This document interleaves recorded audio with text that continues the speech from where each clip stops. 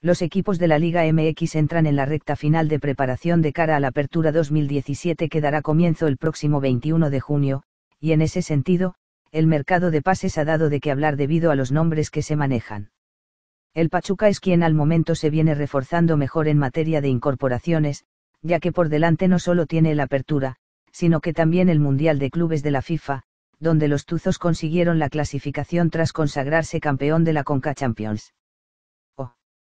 Es por eso que tras la pérdida de su estrella, Irving Lozano, quien fichó por el PSV a Eindhoven de Holanda, el entrenador Diego Alonso busca goles, y para eso está tras los pasos del goleador del América y delantero de la selección mexicana, Oribe Peralta. El cepillo, como le dicen al atacante, viene de hacer muy buenas temporadas en las Águilas, donde desde su arribo en 2014 ha disputado 137 encuentros y convertido 59 tantos. El nacido en Torreón, Coahuila tendría las horas contadas en su actual club, se dice que finalizada la participación de México en la Copa Confederaciones, Peralta se desvincularía de los cremas y se uniría al Pachuca.